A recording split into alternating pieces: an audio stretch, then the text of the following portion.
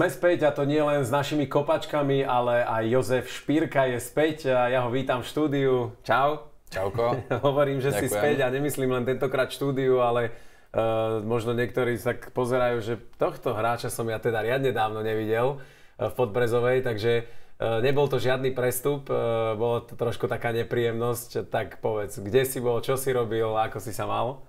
No tak vlastne pol rok, pol rok som pauzoval, Mal som zranenie s kolenom, a ktoré sa... No vlastne to bolo 25., kedy sme mali posledný zápas v druhej lige. Už sme boli vtedy istí postupujúci a to bol posledný zápas. A vtedy prišiel súboj a, a zranil som sa, no nešťastne. Bolo to také, že dovtedy si bol zdravý a toto bolo niečo, čo si už tlačil pred sebou, alebo to bolo vyslovene zranenie e, priamo z tej hry? Bolo to priamo, priamo z hry, po súboji. Čiže uh, ty si si potom užil nejakým spôsobom tie oslavy, alebo vedel si, že ťa čaká a... operácia a tie patálie okolo toho? Tak tým, že sme postupili v predposlednom zápase domácom s Bardejovom, tak, uh, tak som si to užil. Uh, s chlapcami sme si to užili. A, a stalo sa to v poslednom zápase, takže ten týždeň som si užil a potom prišlo to zranenie. Trošku si, dá sa povedať, odflako letnú prípravu? No, v podstate, hej. Samozrejme. Ako tie prvé dni po tom zranení boli, boli ťažké, akože hlavne, samozrejme, to si nikto nepraje a boli ťažké, ale čím skôr som, som sa to snažil akceptovať a už keď som to akceptoval, že už to nezmením a sústredil som sa na veci, ktoré viem ovplyvniť, tak, eh, tak už som bol spokojnejší a ako som povedal, sústredil som sa na veci, ktoré, ktoré viem ovplyvniť, aby som sa čo najlepšie a najskôr dostal naspäť. Do akej miery si ty vnímal hneď od začiatku? Viem, že ten zápas si nedohral v podstate ani len polčas, si myslím len nejakých 40 to bolo 40 minút. minúte, hej. Keď si išiel striedať, do akej miery si ty vtedy vnímal, že to bude vážne, lebo predpo- videl som, že ten spád naozaj, pokiaľ si prišiel na to, čo je a hneď tá operácia, tak to malo celkom rýchly spád? A, tým, že ja som to zranenie už mal, mal som to isté, a pred dvomi rokmi, ale vtedy sa to ešte neriešilo operačne a vedel som, že už po tom zákroku, už keď som, keď som bol dole, tak som si uvedomoval, že to, je, že to bude asi vážnejšie, že to bolo to isté, čo som mal pred dvomi rokmi a vtedy som tiež pauzoval, ale vtedy sa to neriešilo operačne. No a teraz, e, teraz už to bolo potrebné riešiť operačne. A myslím si, teda som presvedčený, že, že som spravil správny krok že som išiel na tú operáciu. Kde si vlastne bol? Bol som v Košiciach v Šaci. 6.7. to bolo. A vyzerá, že si teraz taký plný odhodlaný. Videl som, pod... mohli sme ísť ináč aj po schodoch, že by sme to trošku otestovali, ale môžeme ísť prípadne dole, ale vyzerá, že už si 100%. Áno, áno, tak uh, teraz už to, som 100%. Vlastne, ako som povedal, 6.7. bola operácia. Nejaké 4 týždne som mal ortézu a vtedy som bol aj doma, nechodil som ani na chalanov pozerať, iba, iba doma som to prežíval. A potom e, po tých štyroch týždňoch som, e, som vlastne začal postupnými krokmi s, s našim kondičným e, Joškom Janzikom, aj s fyzioterapeutmi, čo máme. A zároveň som chodil aj raz do týždňa do, do Nemec k fyzioterapeutovi. Je to asi také komplikované, alebo teda náročné hlavne na psychiku, pretože Eh, je trošku iné byť eh, futbalista, byť niekde na trávniku a byť vonku a byť proste v tej posilke alebo niekde tam u fyzioterapeuta, u Mareka, ktorý síce má novú teraz miestnosť, takže Marek Mališ to má tam trošku lepšie, lepšie sa tam človek cíti, ale predsa len si medzi štyrmi stenami. To je pravda. Radšej by som, radšej by som bol na ihrisku. To je, to je proste, či tréningy, či zápasy, to si hráč užíva, ja si to užívam veľmi, ale situácia bola taká, aká bola ja, ja osobne si užívam aj, mám veľmi rada aj posilku a silu, takže, takže vôbec, vôbec mi to nevadilo. Viem, že taká dobrá reggae po operáciách kolena e, je bicykel stacionárny. Ano. E, viem, že veľa chalanov, čo boli po operáciách dokonca aj viackrát, tak vraveli, že už majú toľko nabicyklované, že môžu ísť pomaly na Tour de France. Čiže užíval si si tam tie bajky v posilke, myslím, máš tam od bajky, sú tam airbajky, takže toto všetko išlo cez teba. Hej, hej, vlastne po každom silovom tréningu, ešte keď som nemohol behať, tak po každom silovom tréningu bol uh, nejakých 10-15 minút uh, bicykel v rôznych, v rôznom tempe. Cítiš, že to išlo podľa plánu, alebo si niečo možno urýchlil, alebo je to tak akurát? Alebo možno, že, si, mm. možno, že ešte aj si, ako keby si ušetril nejaké tie dni na to, aby si mohol rovno naskočiť do, teraz do tej jarnej časti? Myslím si, že to išlo podľa plánu. Samozrejme, niekedy to išlo hore-dole, ale, ale, ale myslím si, že to išlo podľa plánu možno boli dni niekedy, keď som niečo prestrelil, ale za následne sme na to reagovali tým, že som si dal nejakú dlhšiu rege, alebo no vlastne tak, takto sme fungovali, takže, takže myslím si, že všetko išlo, že všetko išlo podľa plánu. Čiže zranenie bolo v podstate v máji, potom prišla operácia. Kedy si, e, potom si vravel, že si teda mesiac ešte bolo z Ortezov a kedy si už postupne Eh, sa, kedy prišiel ten moment, že si sa napríklad objavil prvýkrát chalanom, s chalanmi na tréningu, lebo predpokladám, že skôr si mal takú individuálnu uh, podporu od trénerov kondičných a mm, hej, hej. tohto týmu? S chalanmi na tréningu myslím, že to bolo, nepamätám si to presne, ale niekedy v polke novembra, myslím. V polke novembra asi, tak nejak. Myslím, že nejaké dva týždne sme, som aj s nimi trénoval. Vtedy som sa ešte necítil úplne fyzicky na 100%, ale, ale vlastne podľa mňa som bol fyzicky na 100% pripravený, len je to aj pre hlavu také, také ťažšie, ťažšie, že som sa trochu bál. Tak eh, vtedy som nejaké, asi nejaké tie dva týždne trénoval. A 2. decembra sme mali ešte prípravný zápas s Pohroním, kde bola väčšina mladých hráčov z dorastu alebo no, väčšina mladých hráčov a bol tam aj, myslím, že aj Peťo Kováčik a, a ja, uh, čo som bol po zranení. A, a ten zápas mi veľmi pomohol po, po mentálnej stránke, že som, že som, dá sa povedať,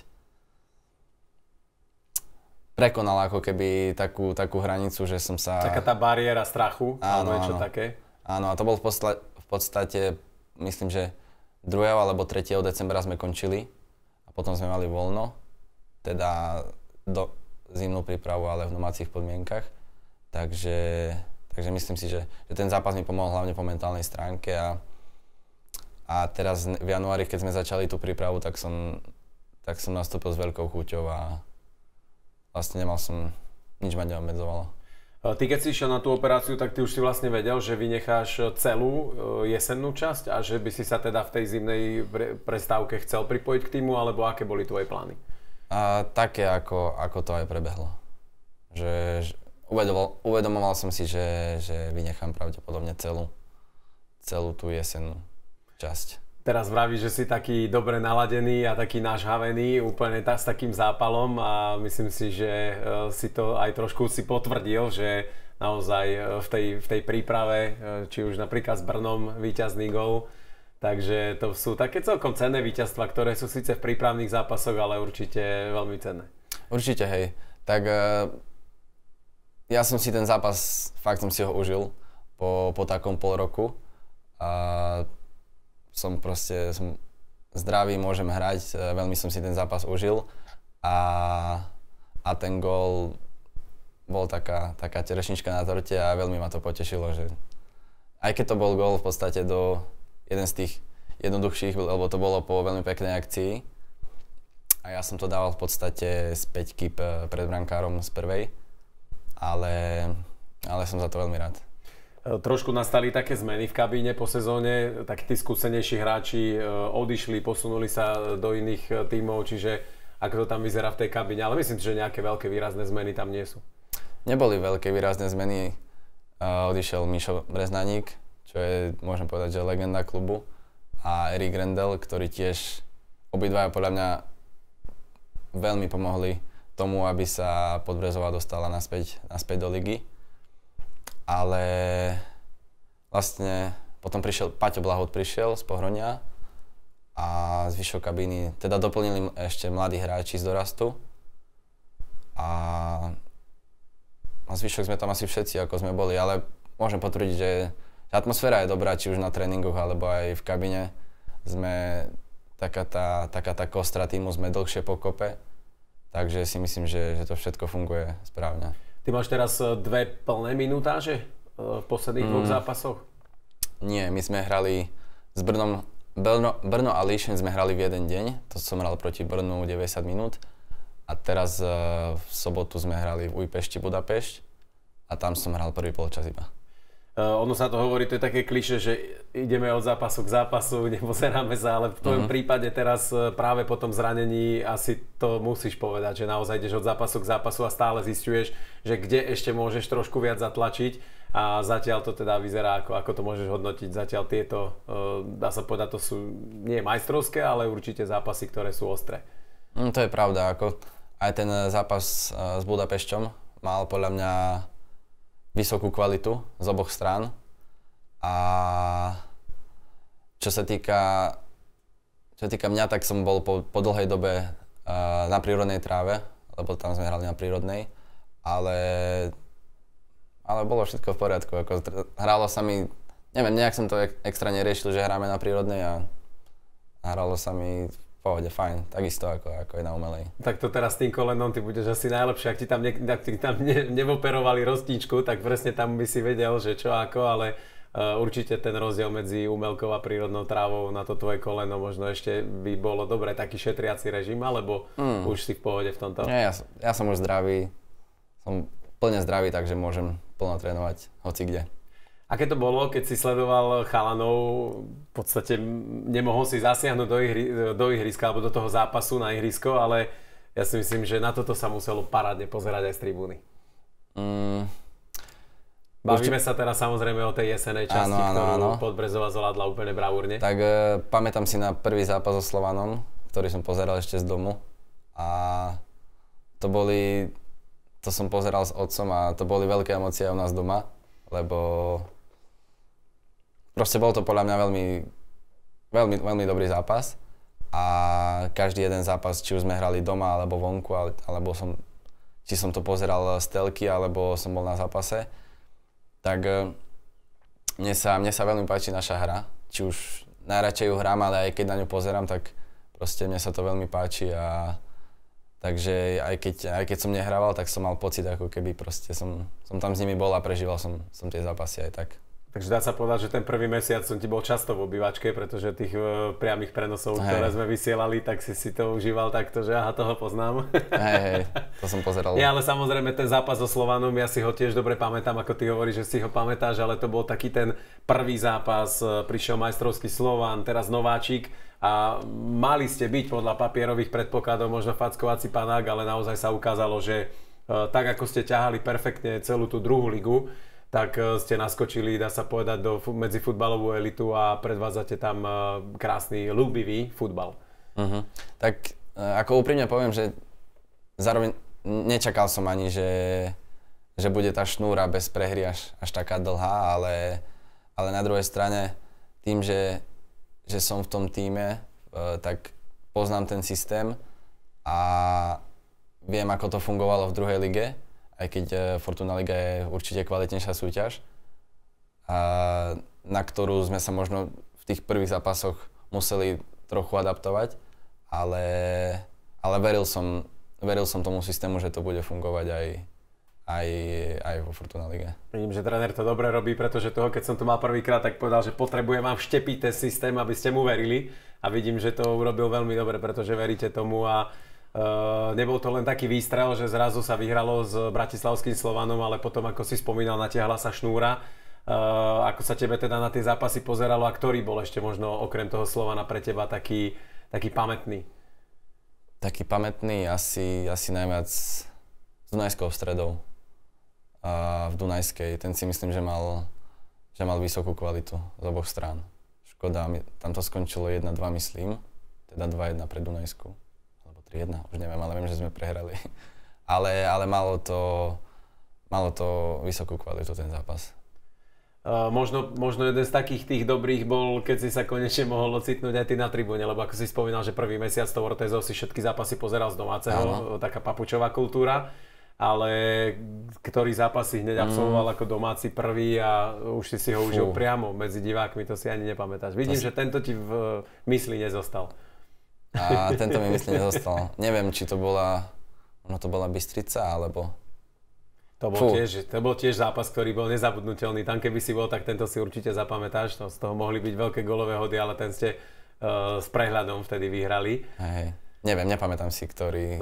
Ty, ty si, teba začali chalani, respektíve ty si chodieval potom no, na domáce zápasy pravidelne, alebo ťa chalani treba zobrali do autobusu, chodil si s nimi aj na tie vonkajšie zápasy, alebo ak, ako si ty fungoval? Na domácich som bol na všetkých a na tie vonkajšie som bol e, na Slovane a v Michalovciach. Tie ostatné som pozeral, pozeral stelky. Uh, ako to vníma hráč, ktorý v podstate nezasiahol do bojov, chalani bojovali, dá sa povedať, že o tej, o tej hornej šestke sa rozprávalo už na predsezónnej tlačovke, že bol by to taký, taký splnený sen a myslím si, že tam máte našliapnuté a nakročené e, veľmi dobre. To už naozaj neviem si predstaviť. Nechcem samozrejme predbiehať, ale uh, to by mohla byť taká súhra, až priam nesúhra, aby ste sa tam neocitli, že to si ani neviem predstaviť. Ako ste vy nastavení a naladení na tú hornú šestku? Ideme od zápasu k zápasu.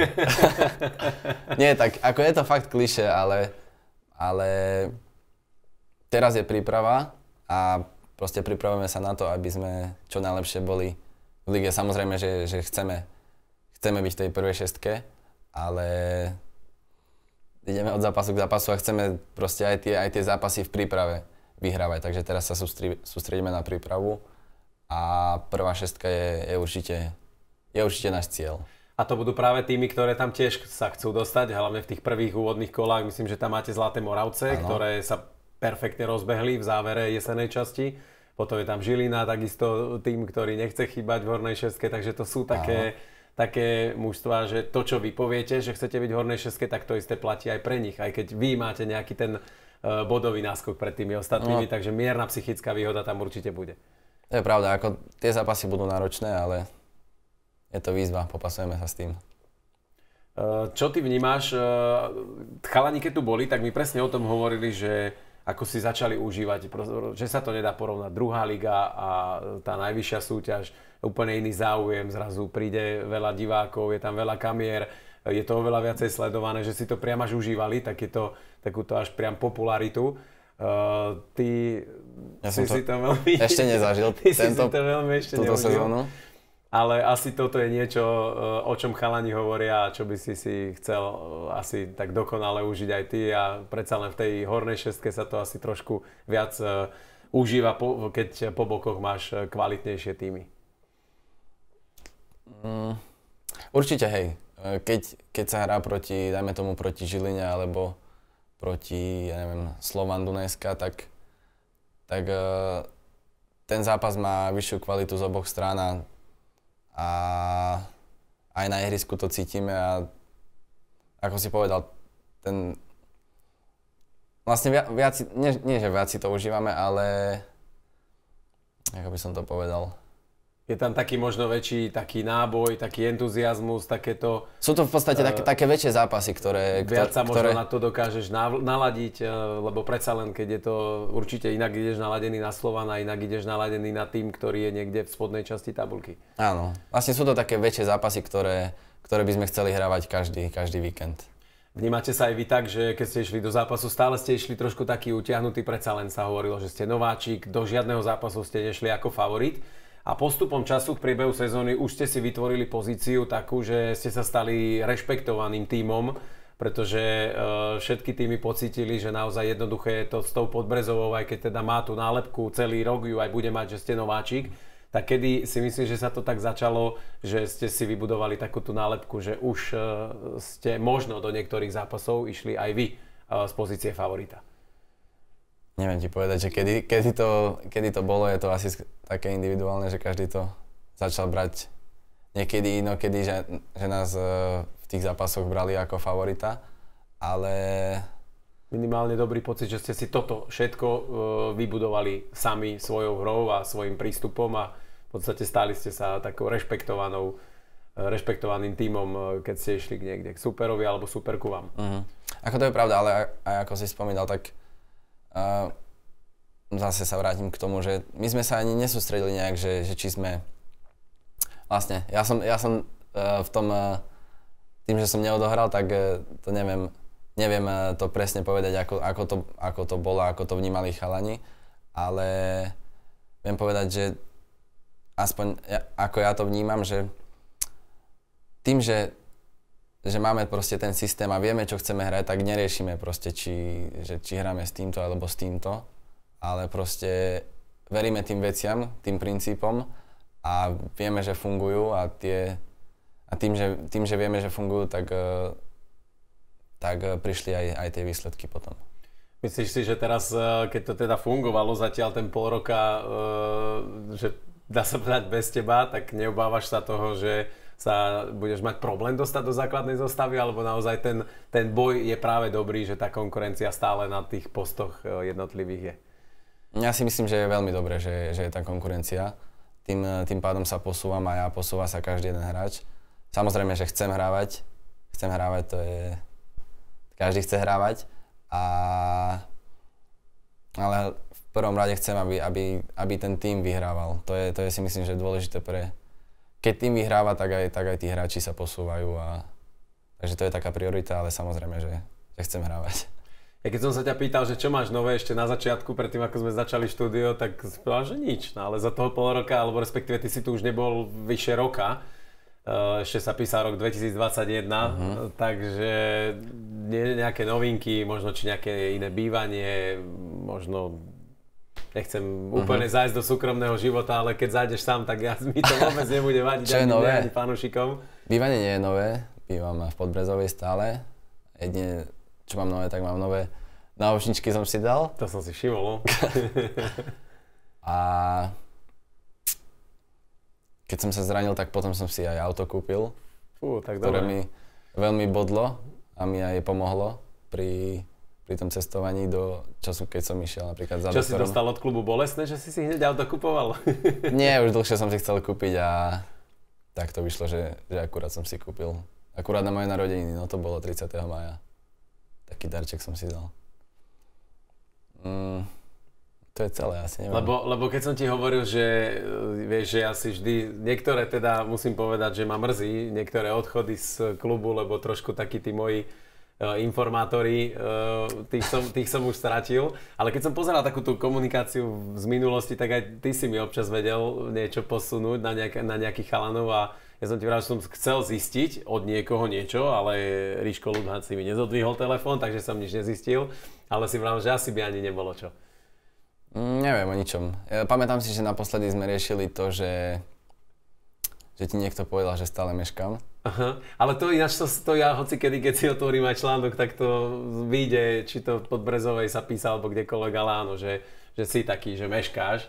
Ale teraz... A ty si sa bránil vtedy, že to tak nie je. Nie, ja, teraz som mal aj rozhovor, uh, myslím, že to bolo pred, týždne, pred týždňom a tam sa ma tiež na to pýtali.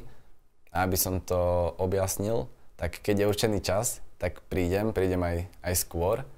Ale je pravda, že keď napríklad ideme na kavu alebo na obed po tréningu, tak uh, väčšinou prídem ja posledný do auta, lebo sa, sa dlho chystám. Motáš sa. Hej, hej. A mne to tak hovoria. že akým si vlasy napravím a tak. Uh, tak vidím, že ty si celkom slušne pamätáš ešte aj z tých minulých našich kôl, ktoré si tu absolvoval. A neviem, či, ja som teda chalanom hovoril, že nech si skúsia zapamätať, že aké skóre máme. Ja si už nepamätám, s kým hrám futbal, niekto dokonca chcel hrať so mnou hokej, tak neviem, že či ty vieš, aké my máme ako, aká bilancia mm. je, e, zábavná bilancia po štúdiová, aká je medzi nami. No, bolo to trikrát, ale nepamätám si. Vôbec neviem. Ale to nebude, že trikrát a dosť. takže, Uvidíme teraz. Takže dnes nás čaká futbal. Predpokladám, že zostaneme pri futbale. Hej, zostaneme pri futbale. Ináč, pozrel si sa, že či tam nie je hokej, ale hokej chlapci povedali, že tam niekde je. Oni by ho určite našli. Si sa zlákol, že dáme hokej? Hokej sme tu asi aj, ešte aj nemali, myslím, že stále sme mali futbal. Hej, lebo väčšinou sú chalani, ktorí si povedia, že chcú hokej. Taký Boris Godal, to je taký súťaživý, že ten mi rovno dá obidva a už ma vytrieskal aj v obidvoch, takže to, to sa tak teší z toho. Ale keďže tu máme pripravený hokej, respektíve futbal, takže Milanko, poprosíme ťa, pod nám to pripraviť. No tak po dlhej dobe máme pripravené aj takúto zábavku. Samozrejme host, e, nech sa ti páči, môžeš to tam hodiť. Výborne si si prihral. Sa mi páčilo, ako si sa pozrel na tých svojich. Pozri sa, ďalší špekulant. Počkaj, počkaj, to môže byť veľmi rýchly proces, ale tak e, Iš, je tu ľudha v bráne. Uuu, tak toto neboli ľudha. Super. To bol niekto z Dunajskej stredy, keďže som bol žltý. Takže ja ti gratulujem. Ďakujem. Uh, ja ti prajem, aby sme teda už nemuseli, aby si, videl som na tebe, že keď som sa rozprával s tebou o tom zranení a v tom, ako sa cítiš, tak si bol stále taký, že si chcel niečo povedať a potom, ale nie, ja som zdravý. Ale nie, ja som zdravý. Čiže asi si sa už takto nastavil, nepociťuješ uh, žiadne problémy a vyzerá to naozaj, že to nie je na 99, ale na 100 si fit. Presne tak. Sú veci, ktoré viem, že mám robiť počas týždňa, aby sú veci, ktoré, viem, ktoré mám robiť počas týždňa, aby som bol proste to, to pripravený na, na zápas. Takže, ale áno, som 100% zdravý.